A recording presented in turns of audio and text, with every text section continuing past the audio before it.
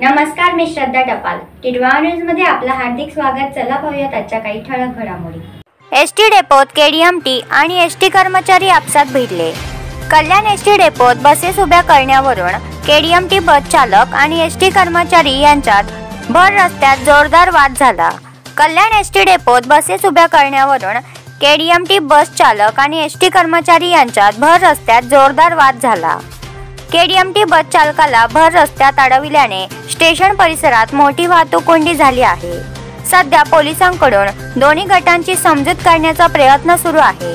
कल्याण पश्चिम येथील स्टेशन परिसरात स्मार्ट सिटी प्रकल्पाअंतर्गत स्टेशन परिसर विकासाचे काम सुरू आहे. या कामामुळे आधीच वाहतूक कोंडी होत आहे. त्यानंतर मुजोर रिक्षा चालकांकडून लोक हैराण झाले आहेत. आज तर एस टी महामंडळाच्या कर्मचारी आणि केडीएमटी बस कर्मचारी आपसात भिडल्याने स्टेशन परिसरात जोरदार वाद झाला. एस टी कर्मचाऱ्यांचे म्हणणे आहे की एस टी बस डेपोत केडीएमटीच्या बसेस उभी करण्याची परवानगी नाही. तरी देखील केडीएमटीच्या बसेस उभ्या केल्या जातात. बसमध्ये प्रवासी भरले जातात. त्यामुळे एस टी डेपोत वाहतूक कोंडी होती.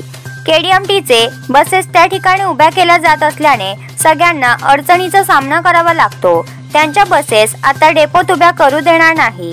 याबाबत केडीएमटीचे कर्मचाऱ्यांचे म्हणणे आहे की स्टेशन परिसरात विकास काम सुरू आहे. गेल्या दहा वर्षांपासून केडीएमटीच्या बसेस डेपोच्या जागेत उभ्या केल्या जातात. त्यांना आता केडीएमटी नाही.